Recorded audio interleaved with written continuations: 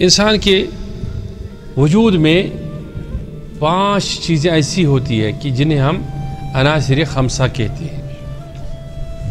ये चखने की, सूंघने की, सुनने की हाँ महसूस करने की और देखने की हस जिसको हम कहते हैं। उरफा के यहाँ ये चीज़ें किसी मानवियत के अतबार से लिया जाता है, लेकिन कुल एतबार से इनकी कोई हकीकत नहीं रहती है। वो कहते हैं कि हम इंसानी नातिक सब है हमारी नातिक है, लेकिन इंसान के लिए कुछ अनासर जो है, वो पोशीदा है।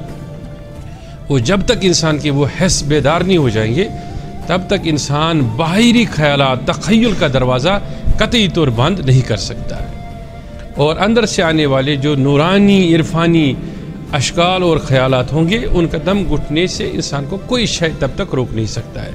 पहले ज़माने में आपने देखा होगा कि जब हम उरफा के यहाँ चले जाते थे तो वो किसी के में गार में पहुँचाते थे कि फ़लाँ जगह जाओ, फलां कोठ, कोठरी में जाओ, दरवाज़ा बंद करके हमें चला कशी करवाते थे, या किसी भी गार में जाते थे, जैसे शेखुल आलम के बारे में आपने देखा महबूल आलम के बारे में देखा। बड़े बड़े अवलियाई कामिलीन जो थे, गारों में जाते थे तो बाहर का दरवाज़ा बंद होता था। तो ज़माने के अतबार से लोग आते, आगे बढ़ते गए, जदीदियत आई, नया निज़ाम आया इंसान के अंदर। तो इंसान उन चीज़ों से कासिर हुआ। तो उरफा ने जदीदियत को खोजने के लिए ये कहा कि इंसान के वजूद के अंदर ही एक गार पड़ा है।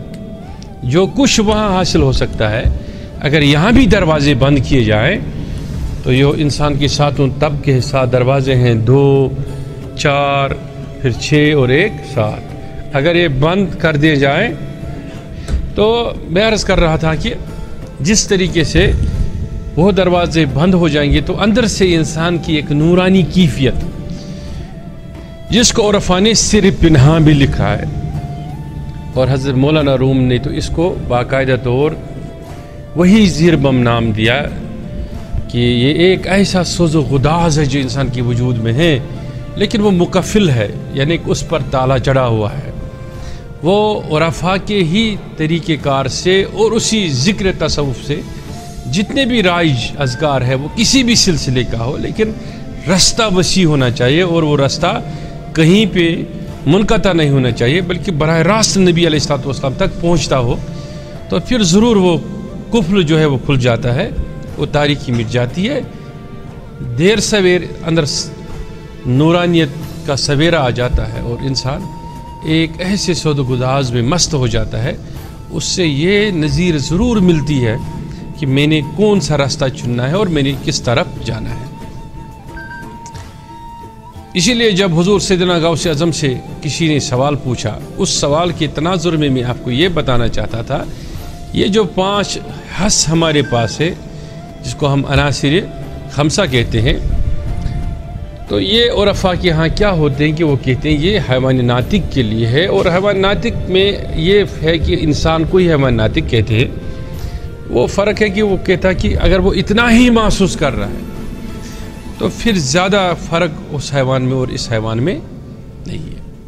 बस नातिकियत है, ये बोलता है, वो बोलता नहीं है।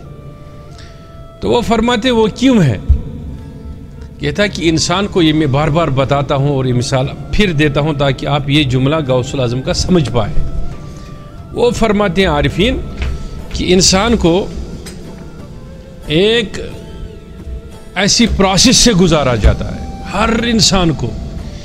पहले तो इसकी रूह इतनी बानूर थी कि ये अल्लाह ताला से मिल के आया, मुलाकात करके आया। अल्लाह ताला ने इससे पूछा अलस्तो बिरबिकुम क्या मैं आपका खुदा हूँ और इसने जवाब दिया भला हाँ तो तो मेरा खुदा है मतलब इससे साबित हुआ कि हमारी मुलाकात खुदा से हो चुकी है लेकिन है कोई ऐसा बंदा सिवाय जिसकी रूह कामिल वहाँ से हो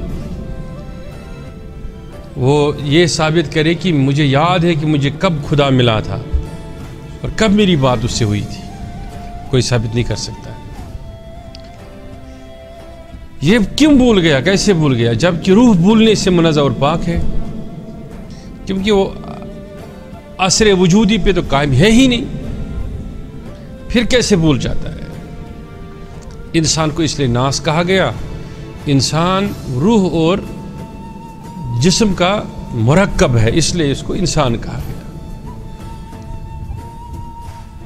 या आदम कहा गया।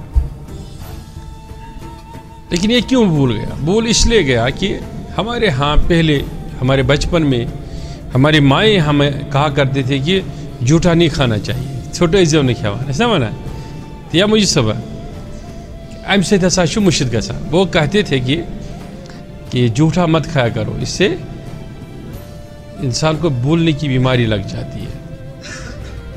और फिर कहते कि, कहते थे कि इसने बिल्ली का जूठा खाया है। उसने कुत्ते का जूठा खाया है तो किसी याद ही नहीं रहता है। तो इससे एक फ़लसफ़ा निकल गया। फ़लसफ़ा ये है कि जब हमारे, जब हम माओ के रहमों में थे तो माँ के रहम में रहते हुए चूँकि हम कोई साफ़ पाक खुराक खाए ही नहीं पाते थे और हमारी जो तकमील जिस्मानियत हुई, वो हुई उस नाकिस और नापाक खून से। जो हर महीने ज़ायल होने से हमारे माए बहनें नमाज़ पढ़ने के लायक नहीं रहती थी।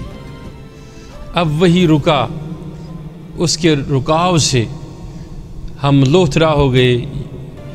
लोथरे से फिर धीरे धीरे हमारा जिसम बनने लगा हड़ियाँ बनने लगी हैं। युम मनी युमना सुम मकान अलकतन फ़खला का फसवा।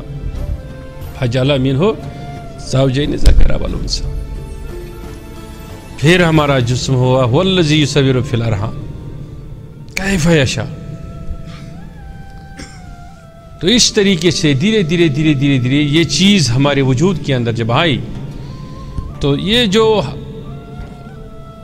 पाँच अनासिर है या उनसरात है, जिसको हम हैस कहते हैं, ये मार्ज वजूद में तो आई धीरे धीरे करके। लेकिन जो हकीकी रूह के साथ अपनी अनासिर थी, वो इस खून की वजह से, इस नापा की वजह से दब गई और ख़त्म हो गई। अब होता क्या है कि जब इंसान किसी आरिफ के पास चला जाता है तो वो धीरे धीरे करके वो हसासियत उसके अंदर जगाने की कोशिश करता है, जो ऑलरेडी उसके पास थी। लेकिन वो माँ के रहम में रहने की वजह से, फिर दुनिया में आने की वजह से, फिर दुनिया के मुख्तलिफ़ मकाफात में गुजरने की वजह से जो रुक गई थी, ख़त्म हो गई थी, उसको फिर से जगाने की कोशिश कर रहा है। इसीलिए आरिफिन के यहाँ पैदा होना माँ से मुतलक नहीं होता है। उनके यहाँ पैदा होना किसी के हाथ में अपने हाथ दिया, फिर उसने आपकी तरबियत की, आपकी रूह फिर से अकमलियत की तरफ़ जाने लगी और आपने जहूर पाया, आपने वजूद किए। उस मकाम जहूरीत से जो आप में छुपी है, पोशीदा है और आप उस राज से, सिर असरार से सरमस्त होने लगे और आपके वजूद के अंदर एक ऐसी बकायत नमोदार होने लगी जो आपको यकीनी तौर खुदा की तरफ़ राकिब कर रही है।